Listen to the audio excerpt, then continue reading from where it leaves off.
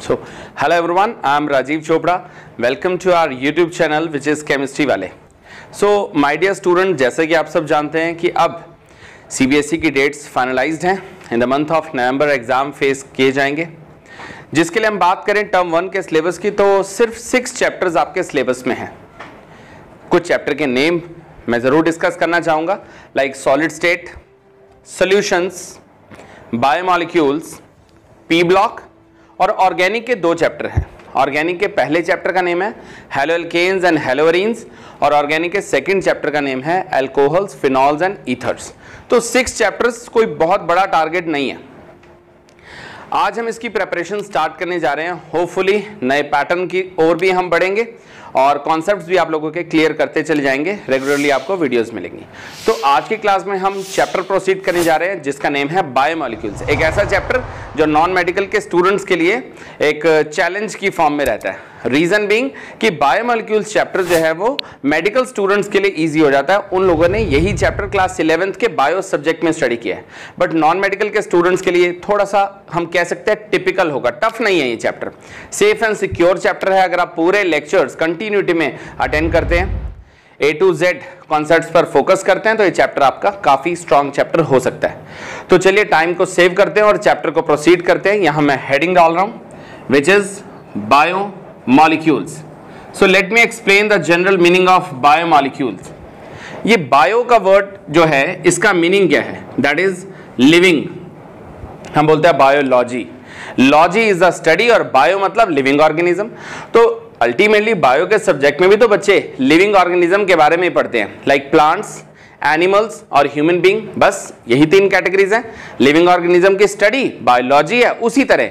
यहाँ बायो क्या है? लिविंग ऑर्गेनिज्म और अगर हम बात करें मॉलिक्यूल्स की तो molecule stand for chemical substances तो कुछ ऐसे केमिकल सब्सटेंसेस की हम बात करेंगे इस चैप्टर में, जो लिविंग ऑर्गेनिजम्स की ग्रोथ और मेंटेनेंस के लिए मैंडेटरी है।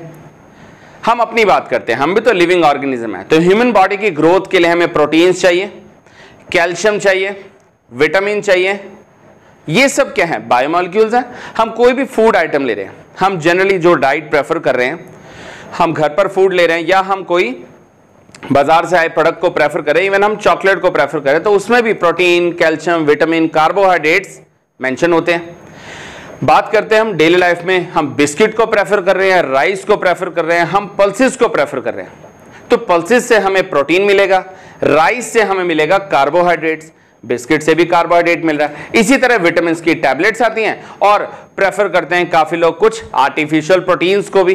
कोई मसल बिल्डिंग कर रहा है, कोई डिफरेंट डिफरेंट लेवल पर प्रेफर करता है बायोमोलिक्यूल्स को। तो बात आई तो बायोमोलिक्यूल्स का मीनिंग क्या है? तो मैंने बोला these are the chemical substances which are used for the growth and maintenance of living organism हमारी बॉडी की ग्रोथ के लिए हमें ज़रूरत है बायोमोलिक्यूल्स की। रेगुलर बोल रहे हैं मेंटेनेंस ऑफ़ द बॉडी अगर इम्यूनिटी की हम बात करते हैं इम्यूनिटी हमारी स्ट्रांग है तो जल्दी से हम डिज़ीज़ पर काबू कर लेते हैं। हमारी बॉडी इजीली सर्वाइव कर सकती है। तो कहने की ये बायोमोलिक्यूल्स का ही तो रोल है, जो हमारी बॉडी की इम्यूनिटी को स्ट्रांग करता है। फ़ूड आइटम बोलते हैं सब कुछ आपकी डाइट पर बेस्ड अगर आपकी डाइट अच्छी है, पूरी तरह प्लान्ड वे में आप डाइट प्रेफर कर रहे हैं, अपनी बॉडी की रिक्वायरमेंट आपकी बॉडी में कितने प्रोटीन की ज़रूरत है, कब कार्बोहाइड्रेट लेना है किस किस विटामिन की आपकी बॉडी को रिक्वायरमेंट अगर आप वो पूरी तरह से प्लान्ड डाइट प्रेफर करेंगे तो आपकी बॉडी में डेफिनेटली मेंटेनेंस भी होगी और ग्रोथ भी नेचुरली होगी। तो बात आई बायोमोलिक्यूल्स की डेफिनेशन की। तो मैंने बोला these are the chemical substances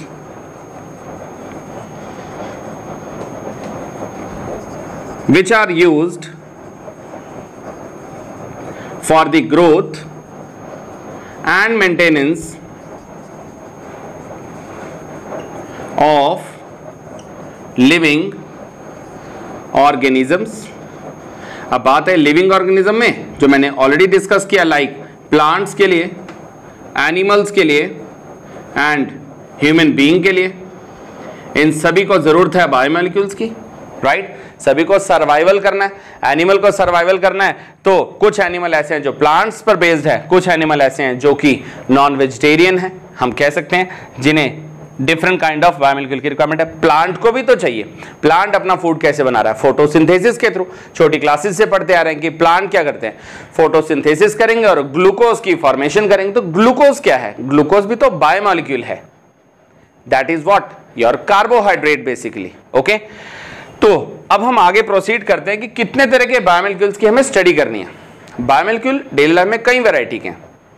मैंने बोला protein calcium vitamin nucleic acid, carbohydrates, fats, lipids, लेकिन क्या हमें इन सब बायोमोलिक्यूल्स की स्टडी करनी है? बिल्कुल, अगर हम बात करें एक्चुअल सिलेबस के अकॉर्डिंग अपडेटेड पैटर्न के अकॉर्डिंग अपडेटेड कॉन्सेप्ट के अकॉर्डिंग हमें बेसिकली फोकस करना है प्रोटीन्स पर। हमें न्यूक्लिक एसिड्स की स्टडी करनी है। कार्बोहाइड्रेट्स के बारे में पढ़ना है। बहुत ही लिमिटेड सा पोर्शन विटामिन का है और बिल्कुल नेग्लिजिबल पोर्शन है हॉर्मोन्स का। बस, इन्हीं पाँच पोर्शंस के बारे में हमें इस चैप्टर में स्टडी करना है। लिपिड्स और फैट्स पहले सिलेबस में हुआ करते थे, अब नहीं है। आपको बिल्कुल लेटेस्ट पॉइंट से चीज़ें बताई जाएँगी। अभी तक ओके है, अब हम आगे बढ़ते हैं। तो इनिशियली हम पोर्शन नंबर फ़र्स्ट पर फोकस करेंगे विच इज़ योर प्रोटीन्स तो स्टार्ट करते हैं प्रोटीन्स का पार्ट देखिए ग्रीक वर्ड से आया प्रोटीन प्रोटियोसिस जिसका जनरल मीनिंग था प्राइमरी इंपॉर्टेंस मतलब हमारी बॉडी के लिए जिसकी रिक्वायरमेंट है, जो मैंडेटरी है हमारी बॉडी के लिए। डेली लाइफ में ऐसा भी आप सुनते होंगे ज़रूर कि एक इंसान की बॉडी का जितना वेट है, उसको लगभग उसी के इक्वलेंट प्रोटीन की रिक्वायरमेंट होती है। अच्छे सर्वाइवल के लिए। हेल्दी डाइट हम उसे कह सकते हैं। तो प्रोटीन्स क्या है? मैं टेक्निकली भी बता रहा हूँ नॉन टेक्निकली भी बता रहा हूँ। बात आ रही है, कुछ लोग वेजिटेरियन हैं, कुछ नॉन वेजिटेरियन हैं। प्रोटीन्स तो सभी को मिल रहे हैं। वेज से भी मिल रहा है नॉन वेज से भी मिल रहा है। मैंने पल्सेस का एग्ज़ाम्पल भी दिया आप लोग को प्रोटीन्स के लिए। तो प्रोटीन क्या है? एक ऐसी लॉन्ग चेन है प्रोटीन बेसिकली लॉन्ग चेन किसकी? जो कि छोटे छोटे मॉलिक्यूल के कॉम्बिनेशन से बना है। Right right? मैं बोलता हूँ एक दीवार है प्रोटीन, जो कि छोटी छोटी ईंटों से मिलकर बनी है। तो वो एक ईंट क्या है? That is the smallest part of the protein उस पूरी वॉल का सबसे छोटा unit which is called alpha amino acid तो अल्फ़ा अमीनो एसिड क्या है? ये एक स्मॉलेस्ट यूनिट है, जिसकी रिपीटेशन होगी और हमारे प्रोटीन की लॉन्ग चेन बनेगी। देखिए, कोशिश करेंगे आपके इन कॉन्सेप्ट्स को इतना इजी बनाने की कि अगर गौर से हम लेक्चर को सुनते हैं एक लिसनिंग एक बेस्ट वे है। सिर्फ़ रीडिंग राइटिंग का जमाना गया। रीडिंग करने की बच्चों की हैबिट नहीं रही। राइटिंग कर करके ऑलरेडी परेशान होते हैं। बात आती है किसकी? लिसनिंग की। अब एक नया मोड आ गया विजुअलाइजेशन देखो, सुनो और याद करो। इस मेथड को यूज़ करना है, गौर से लेक्चर को सुनना है, ध्यान से चीज़ों को देखना है और चीज़ें आपको याद हो सकती हैं। आजमाते हैं, क्या इस लेक्चर से आपको एक्चुअल में इतना बेनिफिट मिलेगा? लेट्स सी सो मैंने बताया कि proteins are the what these are the long chain of alpha amino acid right तो स्मॉलेस्ट यूनिट को मैंने यहाँ क्या बोला? Smallest unit which is called a monomer mono का मीनिंग है सिंगल और मर का मतलब है मॉलिक्यूल ये एक सिंगल मॉलिक्यूल है स्मॉलेस्ट यूनिट है. जब इसकी रिपीटेशन होगी, ये कनेक्ट होंगे, इनमें बॉन्डिंग होगी, ये लॉन्ग चेन बनेगी तो इसको हमने नाम दे दिया क्या? प्रोटीन का. ये पूरा प्रोटीन है। इसमें कोई लिमिट नहीं है। ये एन टाइम्स अवेलेबल है। इसलिए मैंने एक और वर्ड यूज़ किया। प्रोटीन्स को ही हम क्या बोल सकते हैं? Polymeric unit polymeric unit poly का मीनिंग क्या है? मोर देन वन मर मतलब मॉलिक्यूल तो polymeric unit that means the longest chain of the alpha amino acid units और यू कैन से प्रोटीन्स की डेफिनेशन टेक्निकली क्या बनी? It's a polymeric chain It's a polymeric chain whose monomeric unit, whose monomeric unit is what? Alpha amino acid हम technically समझेंगे ये alpha amino acid क्या होता है।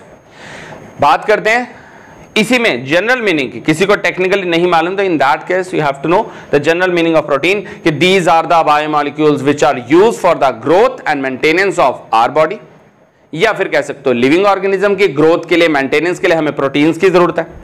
तो टेक्निकली होपफुली बात समझ में आ रही है कि प्रोटीन एक लॉन्ग चेन है जो छोटे छोटे मॉलिक्यूल से मिलकर बना और वो स्मॉलेस्ट मॉलिक्यूल क्या है? That is alpha amino acid unit अब अल्फ़ा अमीनो एसिड क्या है? देखिए, इसमें कुछ ना कुछ वर्ड्स ऑर्गेनिक से लिंक भी होंगे। डरने की ज़रूरत नहीं है। बहुत सारे ऐसे स्टूडेंट हैं। अब इसे ट्वेल्थ के पांडे से चैप्टर को हम पढ़ रहे हैं, लेकिन चीज़ें ऑर्गेनिक रिलेटेड है तो ऑर्गेनिक के नाम पर मोस्टली स्टूडेंट्स को फोबिया होता है। बट उस फोबिया को दूर करेंगे। जितनी पॉइंट्स की रिक्वायरमेंट होगी, उन पॉइंट्स को काफ़ी डिटेल्स में आपके साथ डिस्कस किया जाएगा। चाहे वो पॉइंट इलेवेंथ के ऑर्गेनिक से रिलेटेड भी क्यों ना हो। मैंने बोला यहाँ पर अमीनो एसिड क्या होते हैं अमीनो एसिड इसके बारे में अभी हम बात करते हैं। तो प्रोसीड करते हैं आगे। क्या है ये अल्फ़ा अमीनो एसिड हर वर्ड का केमिस्ट्री में मीनिंग है। वर्ड के अंदर मीनिंग छुपे हैं। मैंने बात की अल्फ़ा अमीनो एसिड ये देखिए एसिड वर्ड एक्चुअली रिलेटेड है कार्बोक्सिलिक एसिड से। कार्बोक्सिलिक एसिड बोले तो एच ये एक फंक्शनल ग्रुप है। क्या होते हैं फंक्शनल ग्रुप सुनते तो आ रहे हैं, छोटी क्लासेस से क्लास टेंथ में स्टार्ट हुआ था कार्बन एंड कंपाउंड्स लेकिन ऑर्गेनिक इलेवेंथ में तो पूरी तरह स्किप कर दिया। अब ट्वेल्थ में आकर सडनली यूज़ हो रही है तो फिर होश उड़ रहे हैं। तो क्लैरिटी देते हैं एसिड मतलब कार्बोक्सिलिक एसिड मैंने बोला ये एक फंक्शनल ग्रुप है। क्या होता है फंक्शनल ग्रुप एक ऐसी केमिकल स्पीशीज जो कि कार्बन की चेन के साथ अटैच होकर उसकी प्रॉपर्टी को डिस्क्राइब करे। मैंने बोला फंक्शनल ग्रुप तो ओ OH भी है और फंक्शनल ग्रुप तो सी एच भी है। ओ OH बोले तो अल्कोहलिक ग्रुप मैंने बोला अल्कोहल कह रहे हैं सैनिटाइजर में अल्कोहल है। हैंड क्लीन करने के लिए यूज़ कर रहे हैं। क्या हम कार्बोक्सिलिक एसिड को हैंड क्लीनिंग के लिए यूज़ कर सकते हैं? नहीं। तो मैंने बोला, कोई कंपाउंड ऐसा होगा जो एसिडिक प्रॉपर्टी दिखा रहा है। कोई कंपाउंड ऐसा ग्रुप की वजह से बेसिक प्रॉपर्टी शो करने लगेगा। अलग अलग ग्रुप अलग अलग प्रॉपर्टीज़ दिखाएँगे। फ़िलहाल मैंने बात की एसिड मतलब carboxylic acid which is C बात आई अमीनो ये अमीनो क्या होता है? अमीनो वर्ड एक्चुअली रिलेटेड है एमाइन ग्रुप से। Amine group which is a basic group तो अभी तक मैंने बताया एसिड मतलब कार्बोक्सिलिक एसिड से इंस्पायर्ड है और अमीनो मतलब NH2 से। अब ये अल्फ़ा क्या है? हर वर्ड का मीनिंग मिलेगा तुम्हें। कार्बन की चेन मैंने बोला कार्बन के साथ कहीं भी, एक तरफ़ मैंने NH2 अटैच किया, कहीं भी COOH अमीनो एसिड ये कार्बन फंक्शनल ग्रुप से next carbon this is called alpha position functional group के कार्बन को छोड़ दो। Next is alpha and remaining sometimes यहाँ H है और समटाइम्स यहाँ R है। अब कई बच्चे इस R में उलझेंगे। ये R क्या होता है? यहाँ वेयर करके मीनिंग बता रहे हैं। R है जी एल्काइल ग्रुप एल्काइल ग्रुप मतलब long chain of the carbon atoms अब ये लॉन्ग चेन वन कार्बन की भी हो सकती है टू कार्बन की भी हो सकती है। इसी तरह थ्री कार्बन भी हो सकते हैं। इसलिए मैंने बोला एल्काइल ग्रुप या फिर एक और नाम मैंने इसको दिया that is hydrocarbon chain hydrocarbon chain carbon की लॉन्ग चेन अब यहाँ ओनली कार्बन लिखने से काम चल जाएगा? बिल्कुल नहीं। टेट्रावेलेंसी रूल यूज़ होगा। अब वर्ड्स तो लिंक हो जाते हैं प्रीवियस क्लास के, लेकिन मीनिंग नहीं क्लियर बच्चों को। कंफ्यूजन रहती है। तो उन बारीकियों पर भी हमें काम करना है। हर लेक्चर से प्रॉपर एडवांटेज मिलना चाहिए। जिस भी क्लास से, जिस भी पोर्शन से लिंक होगा, उसे वहीं के वहीं हमें क्लियर करना है। मैंने बोला टेट्रावेलेंसी रूल टेट्रा मतलब फोर वैलेंसी मतलब कंबाइनिंग कैपेसिटी एक कार्बन का एटम है। कितने बॉन्ड बना सकता है? टोटल फोर बॉन्ड्स बना सकता है। रीजन हर बात का रीजन चलेगा। कुछ भी क्रैमिंग के लिए नहीं है केमिस्ट्री में। कार्बन जिसका अटोमिक नंबर है six we can write two comma four तो कार्बन के खुद के पास फोर फ्री इलेक्ट्रॉन्स है फोर वैलेंस इलेक्ट्रॉन्स है फोर एटम्स के साथ वो बॉन्डिंग करेगा। तभी जाकर टेट्रावेलेंसी रूल मैं बोल रहा हूँ फॉलो होगा। यानी कार्बन स्टेबल होना चाहता है। हर एलिमेंट को स्टेबल होना है। हर एलिमेंट को अपना ऑक्टेट कंप्लीट करना है। मैंने बात की यहाँ कार्बन के साथ एक फ्री बॉन्ड क्योंकि उसको तो आ, ये मोनोमैरिक यूनिट में जाके अटैच होना है। रिमेनिंग क्या है? थ्री हाइड्रोजन यहाँ देखा एक बॉन्ड रिमेनिंग थ्री हाइड्रोजन यहाँ one and two two bonds remaining two hydrogen again three two and two ये सब होगी साइड चेन कभी मैंने बोला मिथाइल, टू कार्बन से इथाइल, थ्री कार्बन से क्या बोला गया? प्रोपाइल। तो इस आर की जगह पर इनमें से कार्बन की चेन प्रेजेंट हो सकती है, इन्हें हम अल्फ़ा अमीनो एसिड कहते हैं। अब बच्चे पूछते सर, क्या ये मैंडेटरी है? यहाँ कार्बन होना ही चाहिए। अगर ये ना प्रेजेंट हो तो फिर क्या हो गया? हाइड्रोकार्बन तो है ना, ऑर्गेनिक कंपाउंड का मीनिंग ही हाइड्रोकार्बन है। ये सब ऑर्गेनिक कंपाउंड ही तो हैं। जो हमें नेचुरली भी मिल रहे हैं आर्टिफिशियली भी मिल रहे हैं। मैंने बोला आर ना हो तो एच तो हो गई एटलीस्ट टेट्रावेलेंसी रूल जो फॉलो करना है। कार्बन को टोटल फोर बॉन्ड्स बनाने हैं। वन टू थ्री फोर्थ अगर कार्बन की चेन है तो बेस्ट है, वो भी अमीनो एसिड है। ये ना हो खाली एच है तो भी अमीनो एसिड है। तो ये हो गया वो monomeric unit which is the smallest unit of protein तो प्रोटीन के अंदर इस तरीके से ये चीज़ें प्रेजेंट है। मैंने कुछ एग्ज़ाम्पल दिए। इसी तरह कार्बन के साथ अब बच्चे बोलते हैं फोर बॉन्ड्स बनाना है। तो सर क्या NH2 यही होना ज़रूरी है? वो कहीं भी लगा सकते हैं। अब मैंने NH2 यहाँ लिख दिया। मैंने सी डबल एच यहाँ लिखा कोई इशू नहीं है, है तो कार्बन के ही सराउंडिंग तो किसी एक तरफ़ H और दूसरी ओर भी H लगा दिया।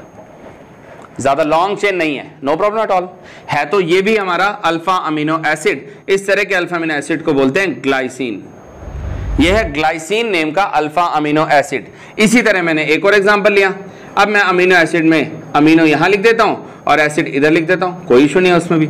एक तरफ़ H और R की जगह मैंने पुट कर दिया C S three methyl part okay तो अब ये भी क्या है? ये भी एक अमीनो एसिड है, जिसका नेम है एलेनाइन ये एलेनाइन इस अल्फ़ा अमीनो एसिड का नेम हो गया राइट तो अब तक हमें मालूम चला कि प्रोटीन जो है, वो अल्फ़ा अमीनो एसिड से मिलकर बना alpha amino acids are of further variety वो कितनी वैरायटी हो सकती है? डिफरेंट काइंड ऑफ़ नेम्स यहाँ राइज होंगे. चेन बढ़ती चली जाएगी नेम बदलते चले जाएँगे. अभी तक हमें मालूम चल चुका है कि क्या होता है अल्फ़ा अमीनो एसिड अब आगे बढ़ते हैं.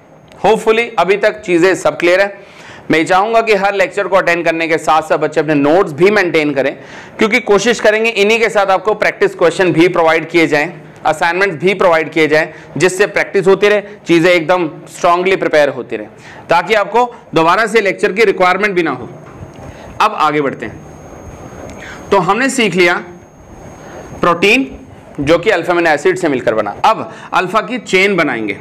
मैंने बोला यहाँ एक छोटा सा पॉइंट आता है, इसको हम बोलते हैं पेप्टाइड नो डाउट शुरुआत तो होनी है अल्फ़ा मिनो एसिड से। जब जब हमारे अल्फ़ा विद अल्फ़ा कंबाइन होंगे मैंने बोला, ईंटों के कॉम्बिनेशन से दीवार बननी है। अल्फ़ा मिनो एसिड के कॉम्बिनेशन से क्या बननी है? पूरा प्रोटीन की एक लॉन्ग चेन बननी है राइट तो अब उन्हीं हम स्मॉलेस्ट यूनिट को कनेक्ट करना सीखेंगे बॉन्डिंग देखेंगे। तो मैंने बोला पेप्टाइड पेप्टाइड क्या होता है? या मैंने शॉर्टकट लिखा। Two alpha amino acid units are connected right shortcut लिख दिया मैंने। Two alpha amino acid units connected तो इनको कनेक्ट करना सीखेंगे। मैंने बोला कार्बन के साथ। यहाँ पर। हम इन्हें कनेक्ट करेंगे। कहीं मैंने लिखा आर कहीं एच एक तरफ़ सी ओ ओ एच इसी तरह एन एच टू मैंने प्रॉपरली बॉन्डिंग को ओपन करके दिखाया। बच्चे, कहीं इसी बात में पजल होते हैं। सर, ये नहीं समझ में आता, कभी ओ ऊपर लिखते हैं, कभी साइड में लिखते हैं वॉट तो कार्बन की बॉन्डिंग को देख रहे हैं ना हम कि फोर बॉन्ड्स बनाने कार्बन ने। यहाँ one two three four oxygen की वैलेंसी टू है हाइड्रोजन की वन है। हाइड्रोजन एक बॉन्ड से ज़्यादा नहीं बना सकता, ऑक्सीजन के valency is maximum two and what about carbon there is what valency is four only okay तो नाइट्रोजन की बात करें तो नाइट्रोजन की वैलेंसी कितनी है? Three right right. इसी तरह, आगे बढ़ते हैं। अब मैंने यहाँ लिखा आर यहाँ एच एसिडिक के सामने मैंने मेंशन कर दिया बेसिक ग्रुप लाइक NH2 और यहाँ एसिडिक ग्रुप लाइक COOH ये मैंने प्रॉपरली बॉन्डिंग को ओपन करके दिखाया। अब मैं इनकी लिंकिंग करूँगा। लिंकिंग कैसे करना है? इसको हम हीट करेंगे और वाटर मॉलिक्यूल का लॉस होगा। इसको हम बोल देंगे क्या? वाटर के लॉस को बोलते हैं डिहाइड्रेशन बोलते हैं ना बॉडी में डिहाइड्रेशन हो रहा पानी की कमी हो रही है। पानी कम पीते हैं, बोलते ज़्यादा दैट इज़ डिहाइड्रेशन राइट तो वाटर के लेवल को मेंटेन रखना कंपल्शन हो जाता है। उसी तरह यहाँ पर हीट किया तो वाटर की कमी होगी, यानी वाटर मॉलिक्यूल का लॉस होगा। Like O H and H right एक तरह का न्यूट्रलाइजेशन ही तो चल रहा है। कहीं एसिडिक ग्रुप है, कहीं बेसिक ग्रुप है। एक साइड से एच एक साइड से O H similarly basic group से यहाँ H, यहाँ देखा हमने OH वाटर का रिमूवल होगा। इसमें हम लिंकिंग करके दिखाएँगे। हमने देखा कार्बन के साथ R है, H है। फाइनली बॉन्डिंग किसकी हुई? CO की।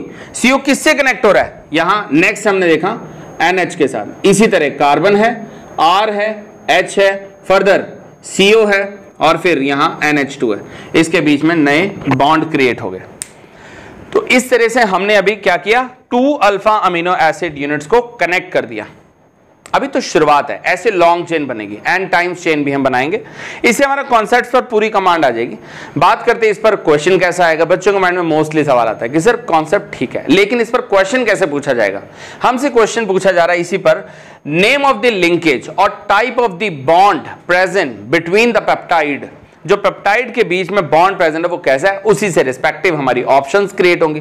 बात आती है एमसीक्यू की साथ हम क्या इसी के कॉन्सेप्ट के साथ क्वेश्चन भी कर पाएँगे सारे?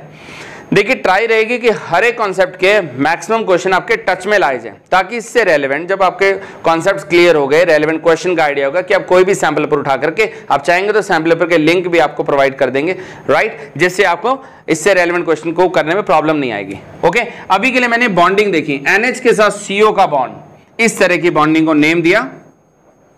पेप्टाइड बॉन्ड या फिर हम इसको बोल सकते हैं पेप्टाइड लिंकेज क्या है इसमें actually peptide linkage this is CO with NH this type of bond is known as what? Peptide linkage और peptide bond.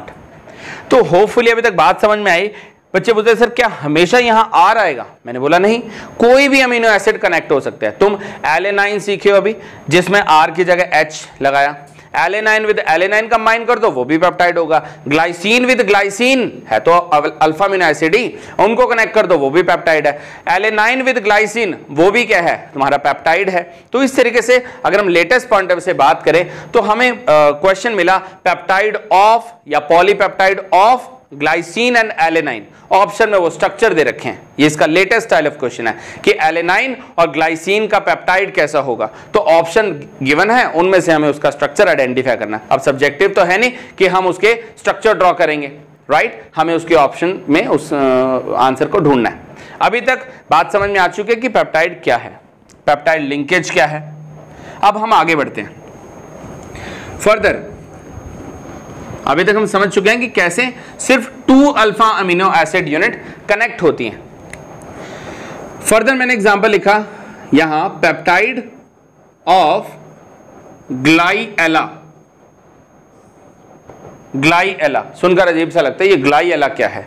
ये एक्चुअली शॉर्ट में लिखा गया प्रॉपरली इसका मीनिंग है यहाँ पर ग्लाइसाइल एलेनाइन आइडिया हो गया That means this type of peptide contains two variety of alpha amino acid units. One is glycine actually and another one is alanine which is your second alpha amino acid. Right? तो glycine क्या है carbon के साथ मैंने बताया जब जब R ना हो कार्बन की चेन ना हो ओनली H हो इसी तरह acidic group COOH basic group NH2 this is what your glycine glycine के साथ एलेनाइन की लिंकिंग करेंगे। एलेनाइन के लिए मैंने क्या लिखा? आर की जगह C H three H difference है, देखो, बारीक सा पॉइंट है। Only H then glycine otherwise क्या है? एलेनाइन एसिड ग्रुप के सामने बेसिक ग्रुप देखो अंडरस्टैंडिंग तो पूरी चाहिए ना। बच्चों को लगता है समटाइम्स एमसीक्यू आ गए ना तो बिना लिखे ही काम चल जाएगा। ऐसी गलत फहमी है। मैं बोलता हूँ बिना लिखे ना किसी की गति आज तक हुई है केमिस्ट्री में ना होगी। खास तौर पे टेक्निकल चीज़ें बिना लिखे नहीं आएँगे। प्रैक्टिस इज़ मैंडेटरी जो भी स्ट्रक्चर आप सीख रहे हो आपकी ड्यूटी बनती है कि सेम लेक्चर को पूरी तरह कवर अप करने के बाद सेम स्ट्रक्चर को खुद से ट्राई करो। रिटर्न करोगे तो पूरा कॉन्फिडेंस आएगा सब्जेक्ट में। देखो जी अब हमने सीखा एक तरफ़ ग्लाइसाइन दूसरी ओर एलेनाइन फिर से हीट किया रिमूवल ऑफ़ वाटर करना है। एक साइड से ओ OH, दूसरी साइड से H similarly H and O H अब इनमें कर देंगे लिंकिंग फाइनली हमारा स्ट्रक्चर बनेगा। जब दोनों तरफ़ क्या है? एच तो एज इट इज़ है, लेकिन यहाँ एसिडिक के सामने लिंकिंग हुई बेसिक ग्रुप से एच से।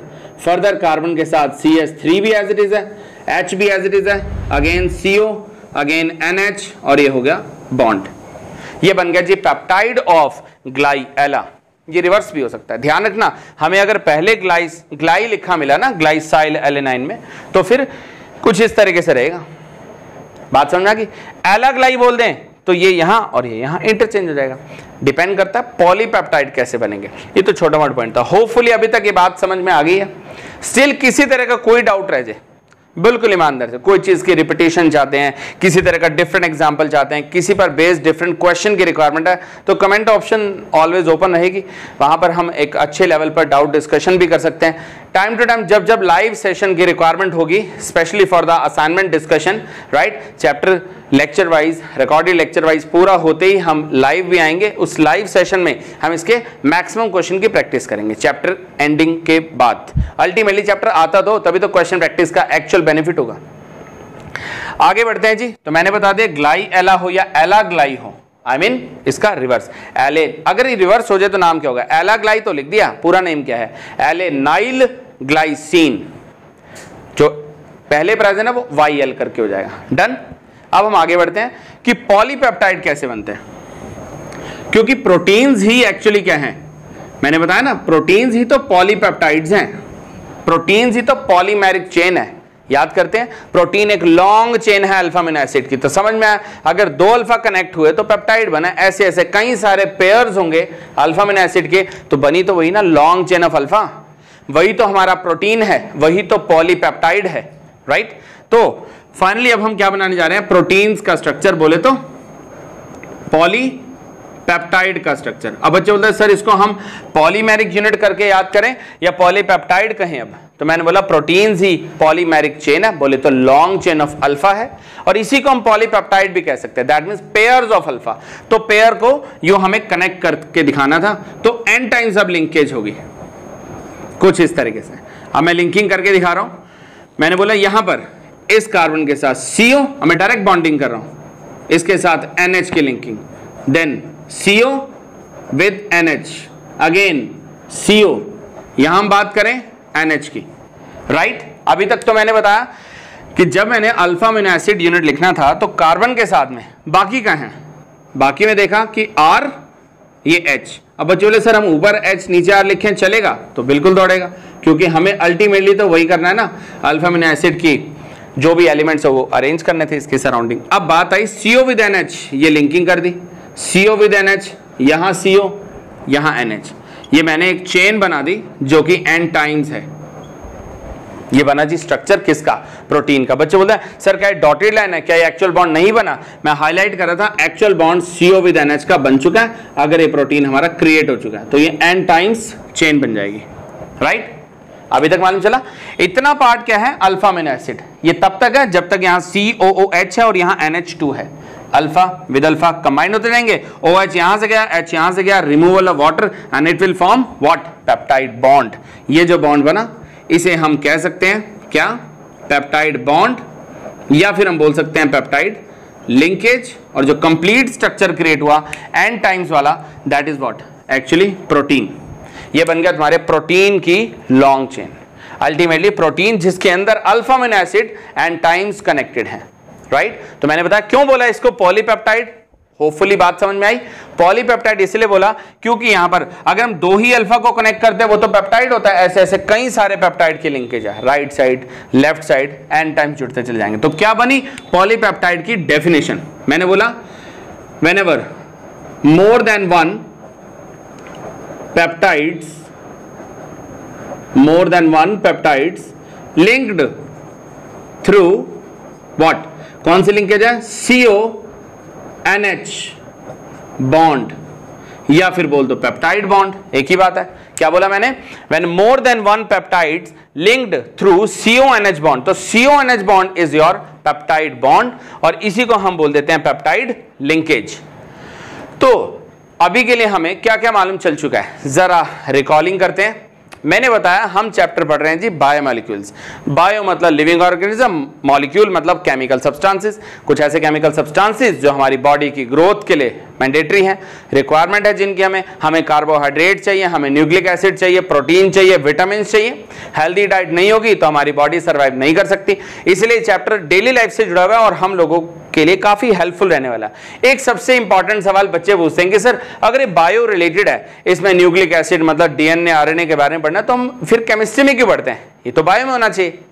एक अच्छा क्वेश्चन है जेनुअन क्वेश्चन है।